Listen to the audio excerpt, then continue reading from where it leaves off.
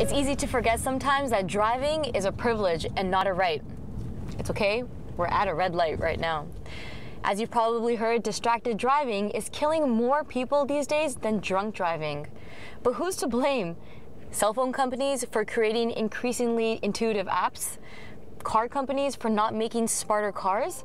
Or me for not being able to control my impulse to pick up my phone. Even a good driver becomes a dangerous driver when they're not uh, paying uh, attention to the road. Founder of Sync Technologies, Nolan Wheeler helped create a mobile app that aims to curb distracted driving. Well, let's see if we can make a breathalyzer type concept for uh, texting and driving, emailing, driving, you know, using apps and those type of things.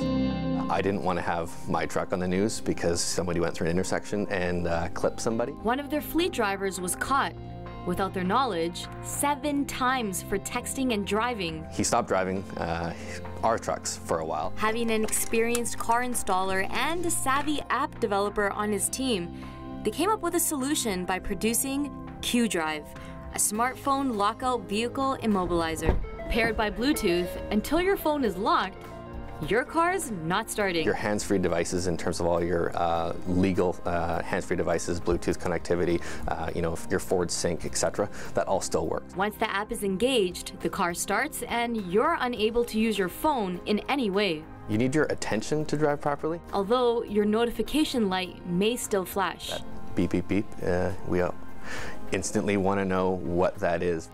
Well, looks like I won't be using my phone for a while.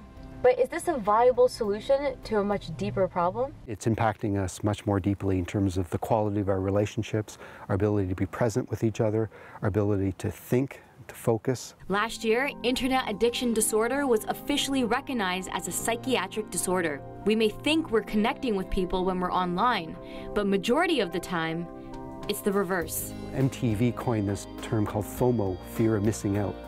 And what we find is the number one motivator for people to go online, for particularly young people, is not the pleasure or the joy of connecting, it's actually the fear of being left out. But why do we reach for it at the most inconvenient time? Addictive behavior starts to take over. So one of those uh, elements of addiction uh, for the criteria is loss of control.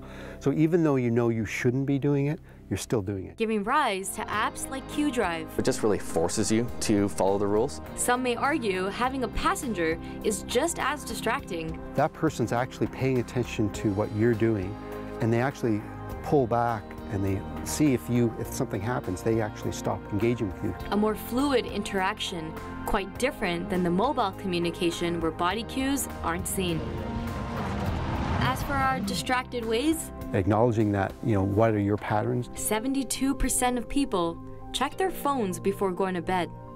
Are you one of them? In Victoria, I'm Rajie Kabli.